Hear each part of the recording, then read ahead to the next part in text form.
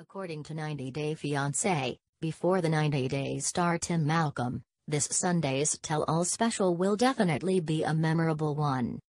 The season finale of Season 3 of 90 Day Fiancé, Before the 90 Days is airing on October 27 at 8 p.m. on TLC along with part 1 of the couple's Tell All special, which continues with part 2 airing on October 28. ET's Lauren Zima spoke with Tim at the 90 Day Mixer at the Highlight Room in Hollywood, California, earlier this month, where he talked about what viewers can expect. The tell all is coming soon and you do not want to miss it, it is really freaking good, Tim told ET. I can't say anything but I will say that it won't surprise me if it's the most viewed tell all of all time. It is going to go down in the history books. It is wonderful. It is crazy he added. It is unexpected. It is just going to blow your mind, and the people that are involved in what you're gonna see are going to be the least likely suspects.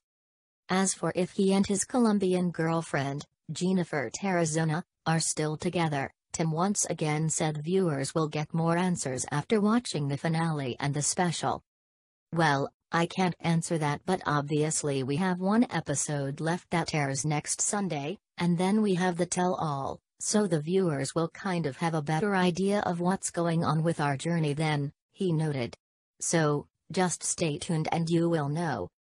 Tim has been one of the breakout stars of this season of 90 Day Fiancé, before the 90 days, which follows men and women who have an existing relationship with a person online who lives in a different country, and are now meeting for the first time in person, and he said that he's been rolling with the sudden fame.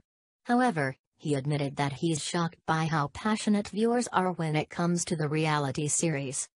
There's always going to be a little bit of negativity when you're on TV, you know, people see things the way they want to see it, he said. I get frustrated sometimes by the way people interpret things just because obviously for time constraints, you're not able to see the whole story always but I'm very thrilled that people are that passionate about the show. Still, Tim said that he is 100% himself on the show.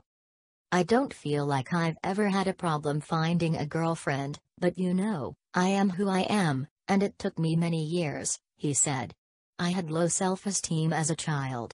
I was bullied as a child, we didn't have money. My mom had three boys and was a secretary.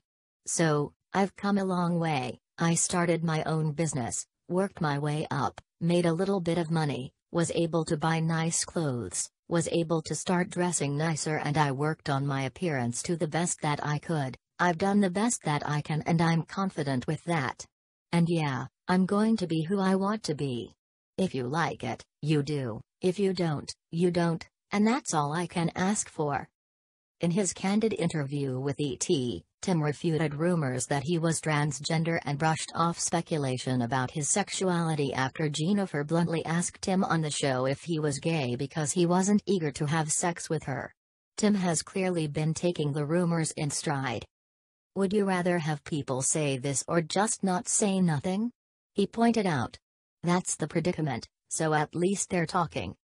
E.T. also spoke with 90 Day Fiancé, before the 90 Days star Darcey Silva, who teased that viewers will have to wait and see whether or not she was still with her British boyfriend, Tom Brooks.